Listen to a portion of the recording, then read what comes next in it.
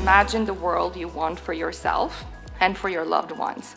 Is this a dystopian world where we give in to our challenges? Or is this a world of abundance where life and work become easier, more efficient, and better? Having a job, having not just a job, but a great job is not just an American dream, it's everybody's dream. The difference between high performance teams, kind of like Navy SEALs, they do things that look impossible to us, and people that just screw up everything they do.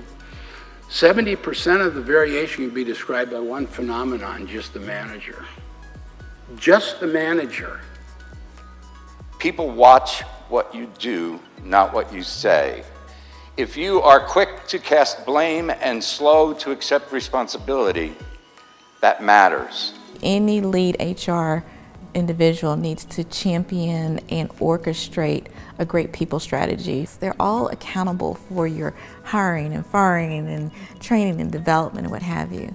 But the magic comes in into the orchestration of all of that. Right now there seems to be a I'd say a gap in supply and demand in the economy in terms of like number of people who clearly have talent and passion for something but just are not recognized for it and then we have people saying well there's not enough talent in the market like there's something going wrong there.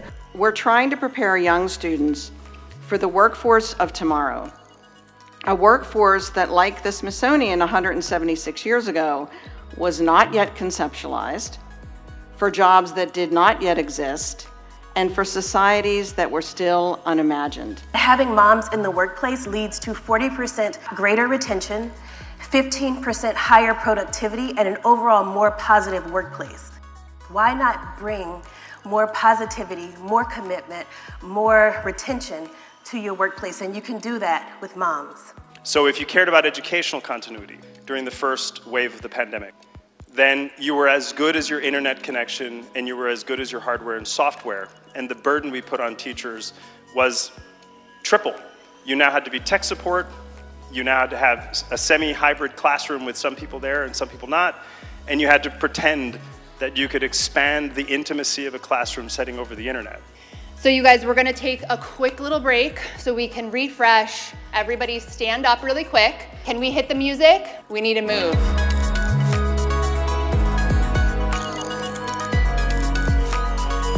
This is a really exciting time in education. There's, I think, growing momentum around the idea that there's a spectacular window of opportunity, an almost unprecedented window of opportunity over the next six, seven years. What are the ways in which our world is changing and what are the ways in which education will be changing to adapt to that world, but also to lead that world. One technology that I'm exploring and using is virtual reality. Uh, the technology of the headsets that we use to have these immersive experiences that we can have, for example, extended campuses for universities or extended spaces for a workplace. Greece, which is a very conservative learning environment, is showing that they can be very transformative. So why can't we do this in other countries? We are very much now having a conversation where we want to say and, not or. We want to talk about degrees and skills. When we talk about pathways to work uh, coming out of the pandemic, it's not just been a pumping of the brakes, it has been a full outright traffic jam. Uh, where the superhighways of education, you know, that were only working for some and not others, aren't working for anyone. Most potential learners feel like this is an exclusive experience, and unfortunately, I think the Varsity Blues case and so many other public atrocities over the course of the last few years have only reinforced that. We are at the brink of understanding how we communicate better, and I think that we communicate in layers that we don't even have names for. So, like gravity, you know, how do we start to use AI to augment ourselves to reinvent science?